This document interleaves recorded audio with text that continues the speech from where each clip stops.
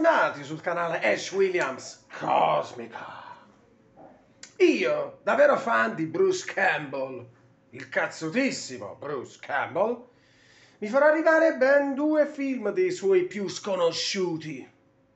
Il secondo film diretto da Sam Raimi, ovvero Crime Wave, che in Italia fu intitolato I due criminali più pazzi del mondo, dove Bruce Campbell in verità fa una piccola parte, doveva essere il protagonista del film, ma lo studio decise no, no non può essere Bruce Campbell il, il protagonista, presero un altro che, un attore che manco lui si ricorda come si chiama, però Bruce Campbell c'è, c'è. E poi è un film super stupido, demenziale, che scrisse Sam Raimi insieme ai fratelli Cohen, quindi è da recuperare, obbligatorio film dell'85 che non incassò veramente un cappero, ma è già un capolavoro e non l'ho ancora visto.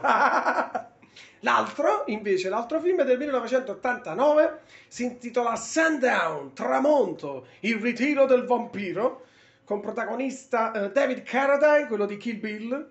C'è anche Bruce Campbell che fa la parte di un discendente di Van Helsing. Il film non uscì proprio al cinema, uscì direttamente in VHS. un altro B-movie assoluto, ma che io mi recupererò. Claro, Bruce Campbell Forever. Questi sono i capolavori, no? Ste cacate che state facendo uscire ultimamente. Avatar, Avatar 2, eh, Spider-Man No Way Home, The More Stuff, ma... Ma, ma vaffanpiffero, ma... Cosmica.